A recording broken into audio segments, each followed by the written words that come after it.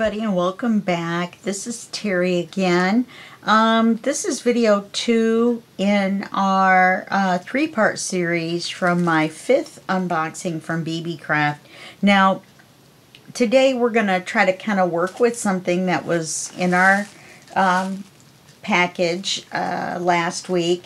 And so what I've decided to do, since I've never really done it before, and we had so many of them, is I thought we would take, let me get them, I thought we would take the embossing folders and do something with them. Now, the only thing I've done ahead of time, and I've only done embossing, I think, twice before, um, is I cut some smaller pieces of paper that I thought would fit better.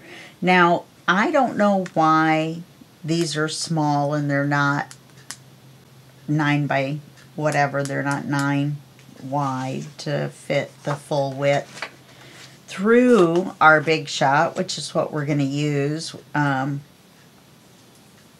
to do this, which is our die cut machine.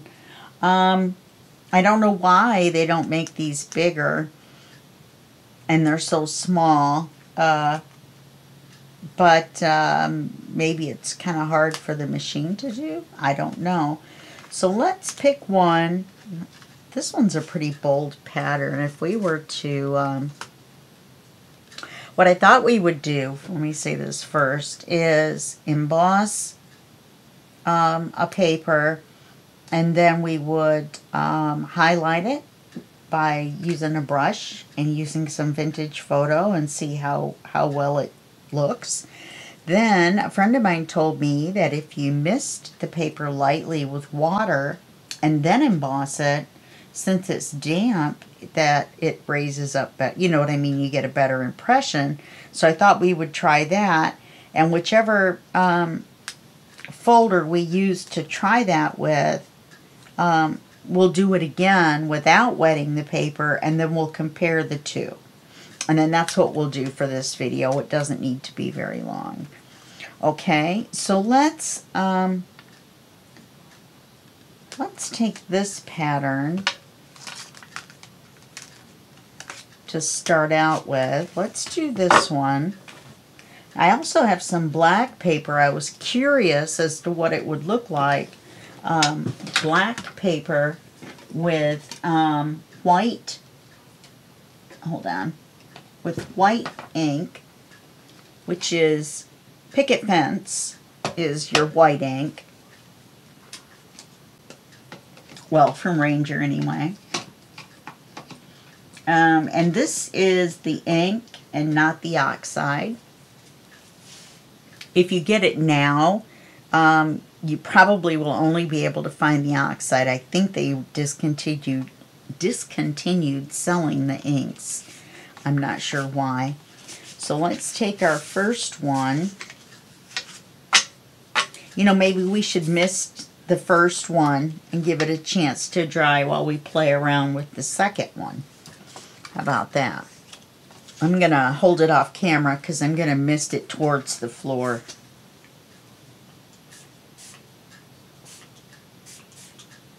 Okay, so you can tell it's damp.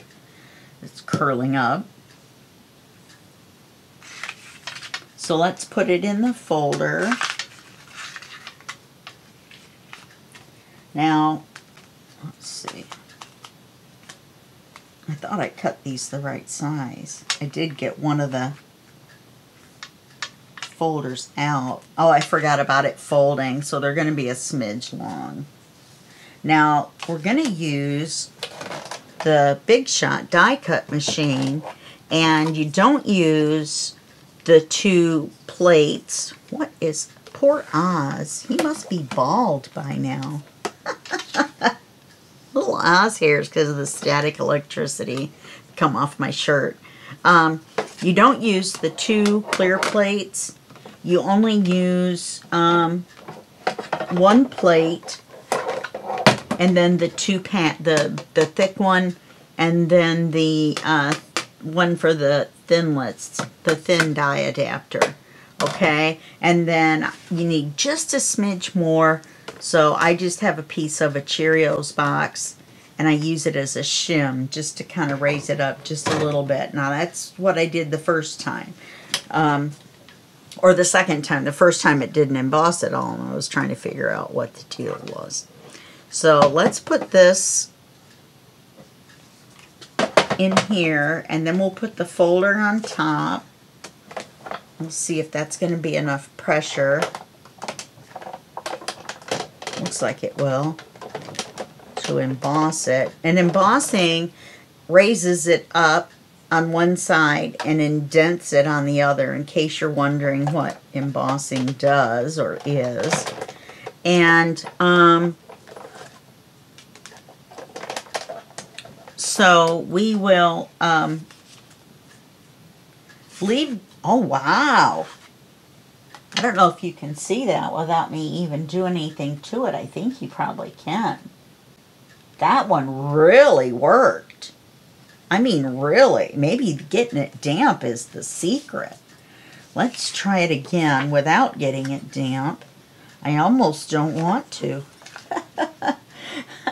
I almost just want to leave the really super good one.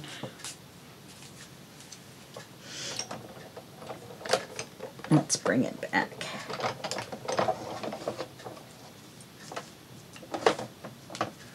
Put it on there again.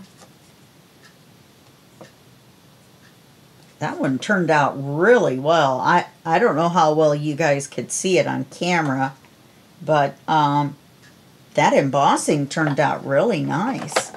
All right, so let's, so those embossing folders from BeeBeeCraft really impressed me. Okay, so we'll try this one without getting it damp.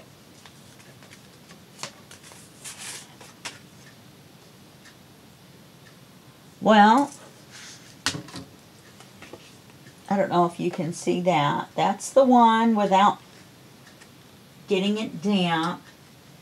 We're going to highlight it, don't worry. And that's the one getting it damp. Now, I think the one getting it damp is just a smidge better. I do I do agree. I think it's a little bit better. Um, so let's um, highlight these with a little bit of vintage photo. And we'll we'll do part of it. And then I'm curious to see I'd, I'd like to see what a rusty hinge would look like as well. Now I really don't want to I'm not really sure how to do this because it seems like you would ink the part next to it too.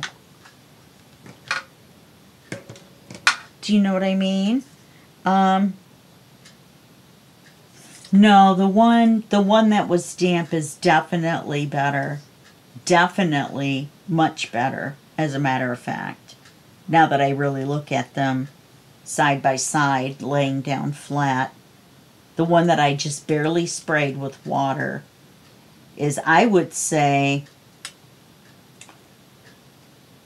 30% better, at least. Mm-hmm. Okay, let me tap this on something. A piece of manila folder here. Make sure we don't make a big blob. Oh, I see.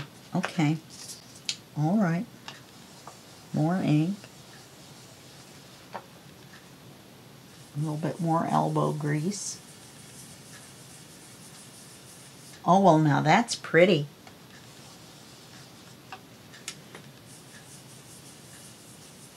It's amazing how it doesn't um, ink the paper underneath. It just inks the part that we embossed. I'm going to do two rows.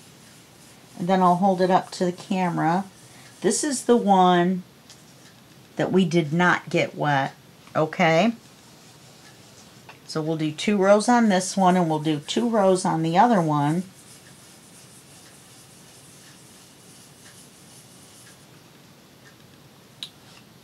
Yeah, see that is inking that, but um, it's catching more on the little curly cues and stuff and making it darker. So it is lightly inking the paper, of course. I knew it had to be. So let's link, ink all of it in between. Let's just do both rows at once. How about that? Got my sleeve in there. That's all right. My hands are so cold and my arms are cold. It's um, pretty chilly. That's pretty. Okay, so that's what it looks like with ink on it. Let me hold it for a second and let the camera adjust. I can't see what you're seeing because with my reading glasses on, when I look over to the um, laptop that I use with my webcam to record, does that help? Laptop with my webcam. All it does make the camera focus go crazy. Um, then uh, to see up close to see what I'm doing, I can't look over at the laptop and see anything clearly. So let's do two rows on here. it's easier to um, highlight it without getting as much on the paper. I can tell you that right now. So my vote is spray it, just two little spritzes to get it damp, and then run it through the embosser. Okay, that's my vote. Now you can put up to a six inch piece wide piece of paper through the Big Shot so these are not that big. These are only as big as the embossing folder. So you could put the folder in the middle and leave the edges. Um, I don't know how you would leave space at the top because of the way the folder is. Do you see what I mean? If you have it, there's no place at the top without a pattern for you to push it up into so that you would have a flat area on the top and a flat area on the bottom. You're always going to have embossing all the way to the top.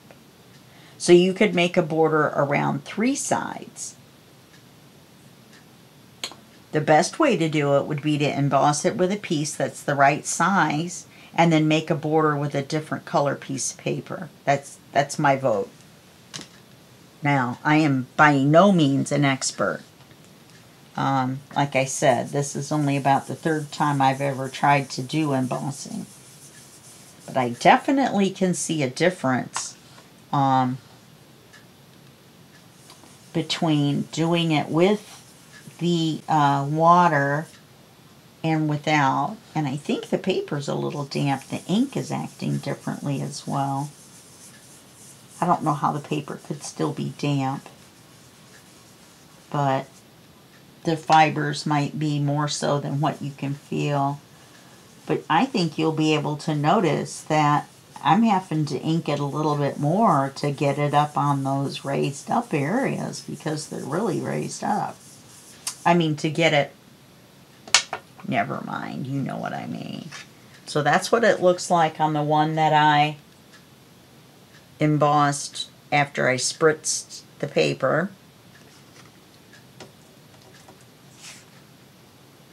This is the original one. So as you can see, this one's up higher, so there's not as much ink on the paper. Since the embossing is higher, I didn't have to um, touch this part of the paper to get this embossed. Look at that. How can I have ink on me all over already? I haven't even done anything. I don't know. All right, now let's do the rusty hinge, just because I really like the rusty hinge color.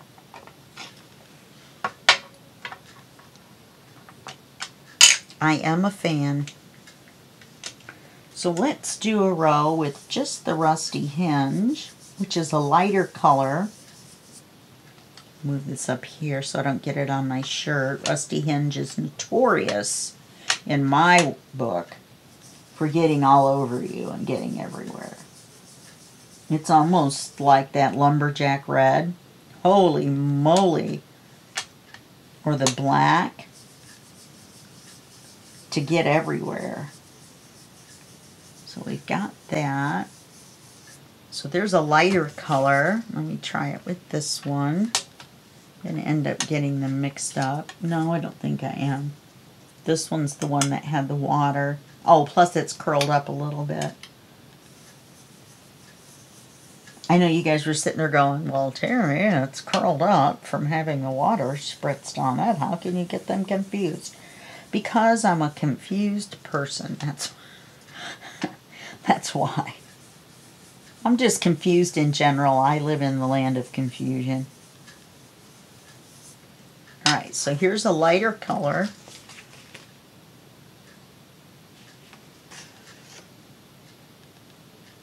And here they are side by side. So you can see that this one is better than this one because this one's lower so more ink gets on the paper. This one's raised up higher so less ink gets on the paper. And if you were a little more careful than I was, you might be able to ink, in fact I'm sure you would be able to ink just the raised up, the, the positively embossed section. Now look on the back and you can see, you should be able to see anyway, that this part is indented and this part is raised up and that's what happens when you emboss it. So since this is up, it you know this has to get pushed in in order for that to push up. Now you can also use the negative or the opposite. There's a word for it not sure what it is. I don't remember. De debossed no. Hmm. I'm not sure. But you can do that side as well and it will leave a negative. So this one will have ink on the paper itself and less or none in the uh, embossed area. So I'm going to do this one in the middle. I must have had it in there crooked because it looks to me like this one um, the embossing is a little crooked off the top, so I must have, um, well, I guess that's a way you could make a border, isn't it? If you don't put it all the way in, you could leave a border if it was a wider pattern. You could leave a border by only putting the paper in this far. No, that wouldn't work. you could cut the paper off right at the bottom of this embossing area, embossed area, and that would give you um, a border. I don't know why I'm so obsessed with borders, but I'm just trying to think of all the different things we might be wondering about. So let me do this. Even vintage photo was a little tough to um, see when you do it with a brush.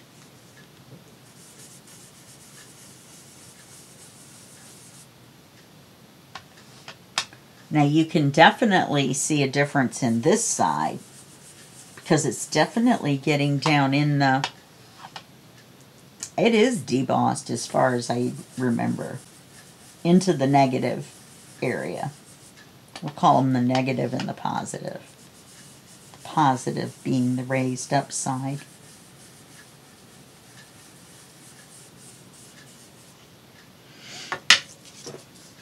Okay, there's one. There's the one we misted. And here's both of them together. So you can see that in order to get the effect, it didn't go down as far in on the one that we uh, used the misting with in order to get the little curly cues. Um, I did make this darker altogether, so I guess that's not really a fair test. But, um, so that's what we're going to do with that. Um, so let's set this aside. I've got two more cream colored ones. This was just some scraps I had. So why don't we do this? Let's try a couple of the other folders and just see what the pattern looks like before we head on to the black. I'm interested to see this one. And I would also like to see the dandelion one, I think. Mm-hmm. So let's do a dense one and then one that's farther apart. How about that? That'll be a good test. So let's do the dense one first with a denser pattern. Closer together, less clear space. Okay.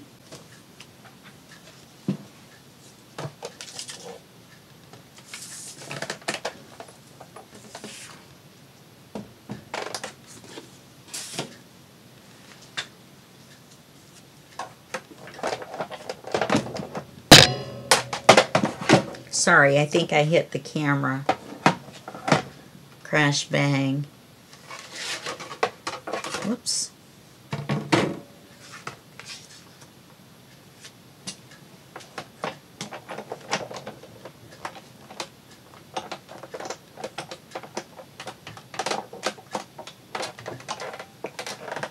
Oh, I didn't miss it, so we won't miss either one. So there's that one. Let's do this one.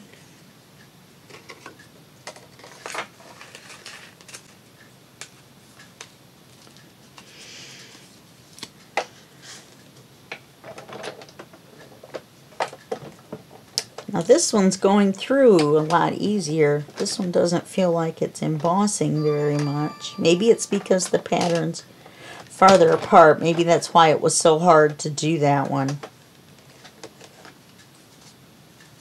Yeah, it worked. Okay.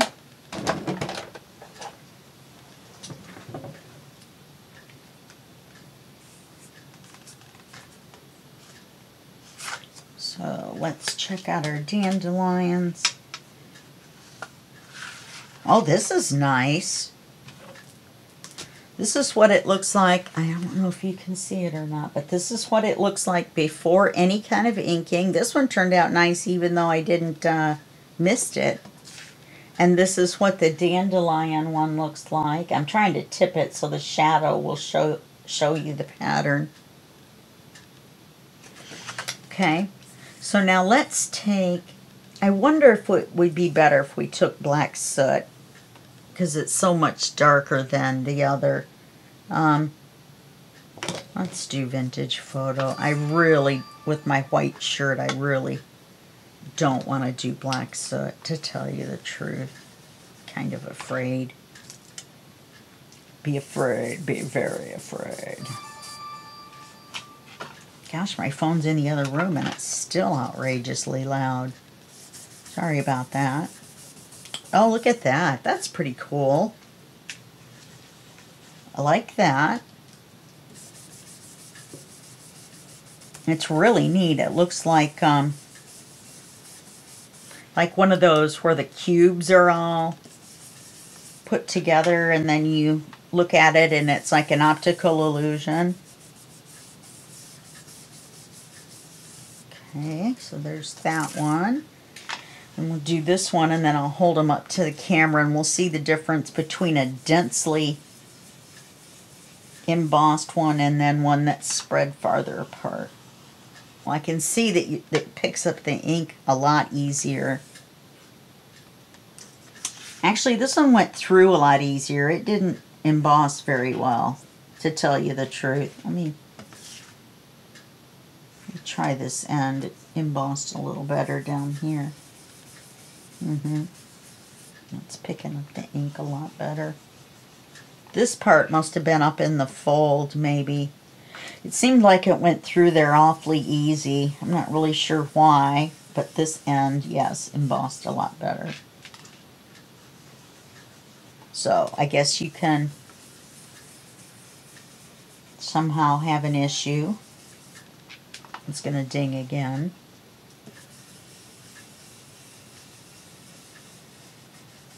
Mm, delayed on the phone. Okay, so let's see the difference between a dense pattern and a wide out pattern. So here's our dense one, our dense pattern. And our open pattern. I really like this one. This one's really cool. Let me turn this around. These dandelions are upside down. So that's the difference.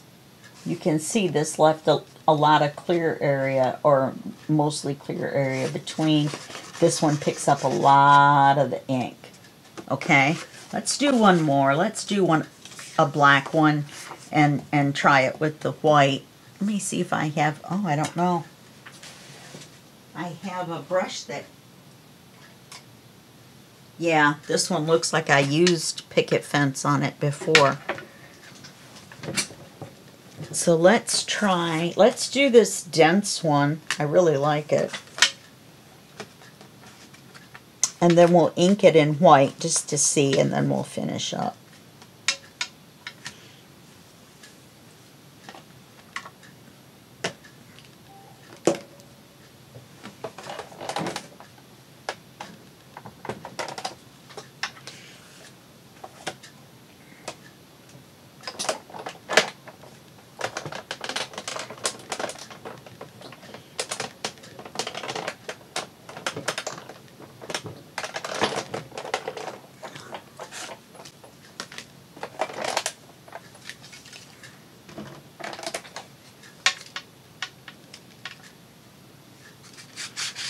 I can just tell you off the bat, it looks pretty cool.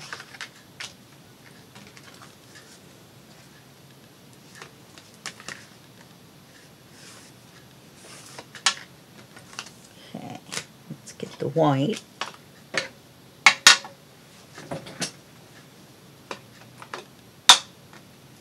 I accidentally hit the black on it once a while back. Let's do this. Let's do this.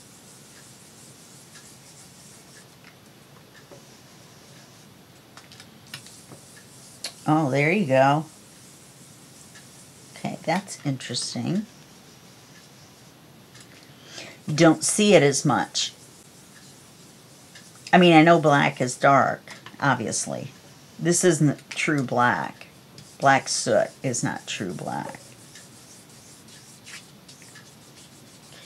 There's the embossed side. Let's try it on the other side too and compare. I believe this is the side I did on the other one. You get two completely th different things with this dense pattern depending on what side you're looking at because even on the quote-unquote negative side um, you've actually got a raised up pattern kind of wild, but it's different. I mean, it's the same pattern, but it's got a different, um, a different layout to it. Okay. So this is what the negative side looks like with the white ink on it. And this is what the embossed side looks like. Now, neither one of them really, get glue on there, really trips my trigger with the white on it, with the black. I think if I was to do the black, I would just leave it black and then use it um, as something like fancy, like a, a frame or something around something, put a small picture in here or something like that. And then I think that would look very, very nice. I'm not sure that I would ink it because every color is going to look really, really light and you're not going to be able to see the contrast because the paper's black and all you're going to see is the, the ink everywhere. You're not going to see the darkness or the darker part of the ink on the raised up part of the paper, I don't think. I think that would be true with any super light colored ink that we tried that you would be able to see against black. Okay, so here's our experiments.